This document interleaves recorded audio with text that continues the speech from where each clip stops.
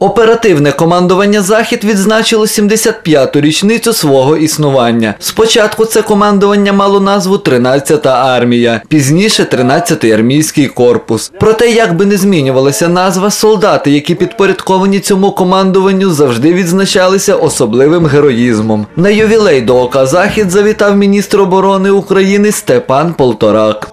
Те, що ми сьогодні святкуємо 75 річницю, абсолютно правильне рішення. Ми не святкуємо помпезно, ми не святкуємо з розмахом, але сьогодні ми відкриваємо пам'ятник загиблим нашим хлопцям, які віддали своє життя, захищаючи Україну сьогодні.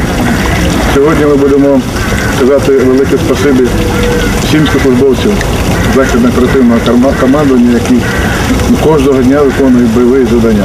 Ми, я планую нагородити кращих і кращих, це треба робити. В рамках відзначення ювілею Степан Полторак відкрив пам'ятник загиблим воїнам у зоні АТО. Також міністра оборони України зустрічали святковим маршем.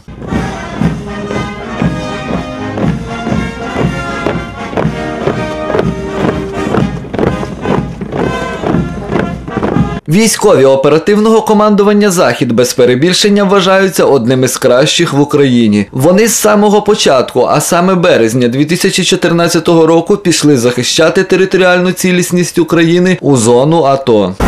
І з цього моменту всі військові частини, наші бойові військові частини знаходяться в зоні АТО. Найгарячіших точках. Це і Бахмутка, це і Пісків, це і Мар'їнка, це станиця Луганська. Всі військові частини знаходяться на частині.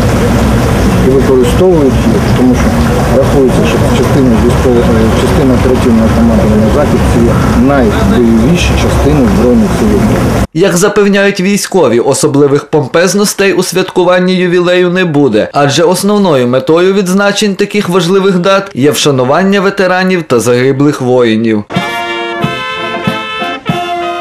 Павло Невесенко, Ельдар Магомедов у ритмі подій.